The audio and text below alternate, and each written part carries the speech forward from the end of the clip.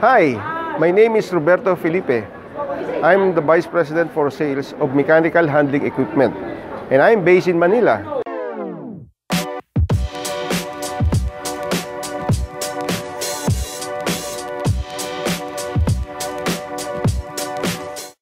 Tell us about your company and your products.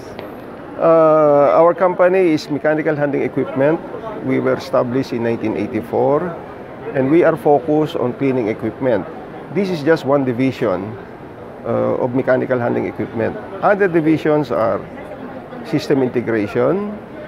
Uh, we have flow division. We cater the uh, water industry, uh, Manila, Manila Water, and the rest of the uh, water districts. And then we do electrical services.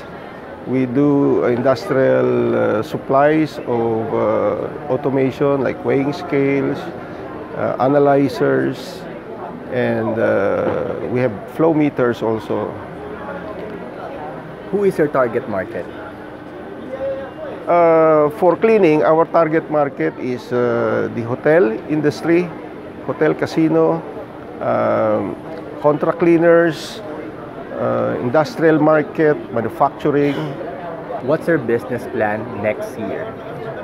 Well, uh, we would like to grow the business, and IPC, our uh, main product for cleaning, has has a lot of uh, equipment that could uh, improve or provide solutions to the uh, to the industry, and uh, we believe that uh, we are the right partner for hotel, for contract cleaners, because we provide solutions, and this is our uh, uh, expertise and uh, our key. Uh, I should say the the uh, focus is the services the after sale service spare parts is available